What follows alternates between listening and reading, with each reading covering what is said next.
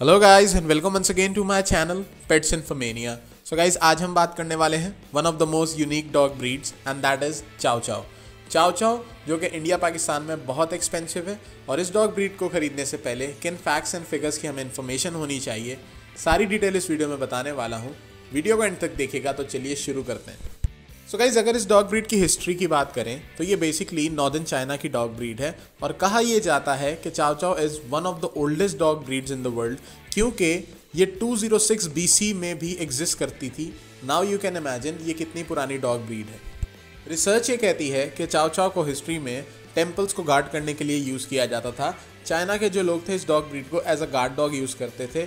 इसी वजह से chow are perfect guard dogs ये डॉग ब्रीड एक मीडियम से लार्ज साइज़ की डॉग ब्रीड है, जिसकी average height 17 to 20 inches tall और इसका जो वेट है that can be around 20 to 30 K G chow chows are apartment friendly ये इजीली आपके अपार्टमेंट में आपके साथ एडजस्ट हो सकते हैं और अगर आप एक छोटी जगह पे रहते हो, किसी स्मॉल स्पेस में रहते हो, वहाँ पे भी आप इजीली इस डॉग ब्रीड को रख सकते हो। ये dog breed first time dog owners के लिए बिल्कुल भी नहीं है। इस डॉग ब्रीड को रखने के लिए एक एक्सपीरियंस डॉग ओनर की ज़रूरत है। उसका रीज़न ये है, ये डॉग ब्रीड हाईली इंटेलिजेंट नहीं होते। ये मीडियम इंटेलिजेंट डॉग ब्रीड है जिनको ट्रेन करना बहुत मुश्किल होता है और इनको कोई एक्सपीरियंस डॉग ओनर या कोई भी ट्रेनर ट्रेन कर सकता है। नॉर्मल बंदा जिसने कभी डॉग्स का एक्सपीरियंस नहीं किया, वो इस डॉग ब्रीड को ट्रेन नहीं कर सकता। This is the reason chow chow is only for experience dog owners ये डॉग ब्रीड अपने ओनर से बहुत ज़्यादा अटैच होते हैं और स्ट्रेंजर्स के साथ बहुत अनफ्रेंडली होते हैं। ये ईजिली स्ट्रेंजर्स के साथ फ्रेंडली नहीं होते और किसी पे भी यकीन नहीं करते।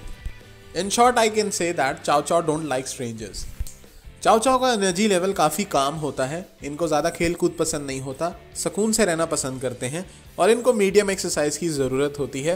सो so, अगर आप ये सोचते हो कि ये बिल्कुल ही काम होते हैं और इनको एक्सरसाइज नहीं करवाई जाए दिस इज़ टोटली रॉन्ग थोड़ी बहुत एक्सरसाइज इनको करवाना ज़रूरी है फॉर देयर मसल मेंटेनेंस और उनकी हेल्थ के लिए you have to make them do exercise on daily basis इस डॉग ब्रीड को आप अकेला अपने घर में छोड़ सकते हो।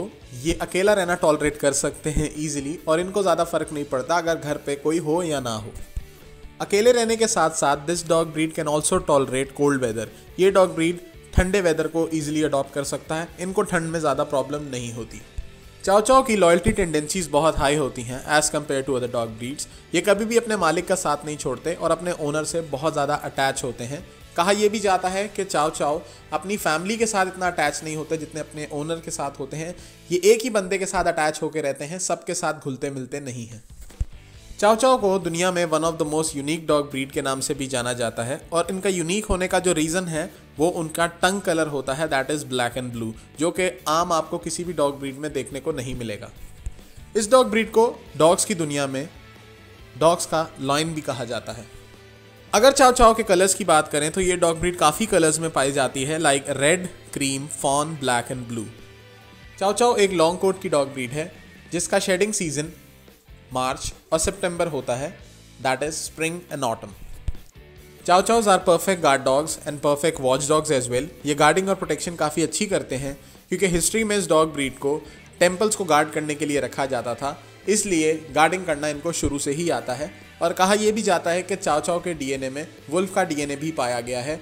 तो इस डॉग ब्रीड के इंसेस्टर्स कौन थे? उसकी कोई प्रॉपर रिसर्च नहीं है। काफ़ी डॉग ब्रीड सामने आ जाएँगी जब आप इस चीज़ को सर्च करोगे कि चाओ चाओ किन डॉग ब्रीड्स को मेट करवा के डेवलप किया गया।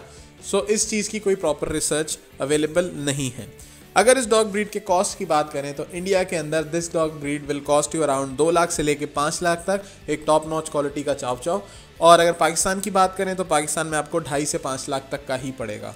सो गाइज़ यही थी आज की वीडियो आई होप आपको वीडियो अच्छी लगी हो. अच्छी लगी हो तो लाइक कर देना सब्सक्राइब कर देना.